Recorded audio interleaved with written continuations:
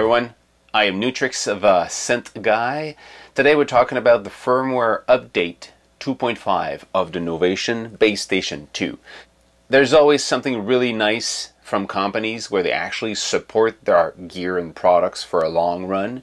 And the Bass Station 2 is not a new product, but they've kept having updates for that. Novation is one of these companies who actually give us more as we go along with them because they keep adding features to their hardware synth. Uh, I have a circuit and the circuit had different updates mm, to a point that now it's totally, you know, a lot more powerful than the original version that came out.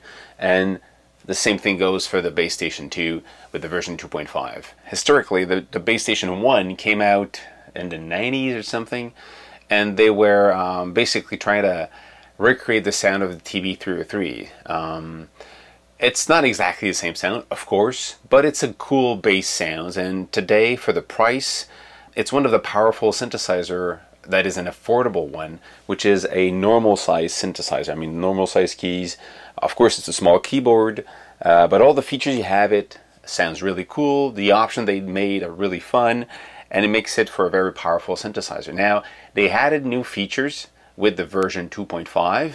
I'll do two videos about it. The first one will be how to actually update the firmware. I'm just going to show you that. And the second one will be I'll go through all the different new features. And rapidly, they have paraphonic mode. If you don't know what paraphonic mode is, actually there's a link over there to a video I made on explaining what a paraphonic synthesizer is.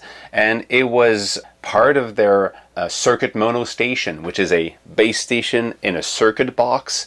And that one was paraphonic. So after they came out with that, a lot of people say, well, do the same thing for this one. So how paraphonic mode can be cool for that, I'll talk about that later on.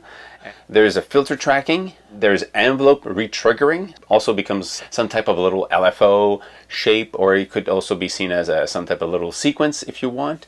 Oscillator error, so you can create that instability uh, that you have in older synthesizers. Microtuning, if, the, if that's what you need.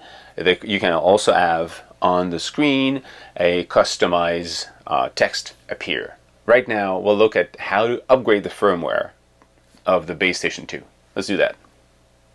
First thing you need to do is have a USB cable connected from the back of the Bass Station 2 into your computer and then you open up the software called components and go well components online only no components is an online software that runs from their website but if you register your hardware you can download components on your hard disk locally and run it from the computer just turn on the machine when you turn on components the first time when it's not updated it's going to have a little option saying update available. You click on it and it will update the app called component components and then you have the list of everything that they have. I have a circuit but in this case it's not connected. I've got the Bass Station 2.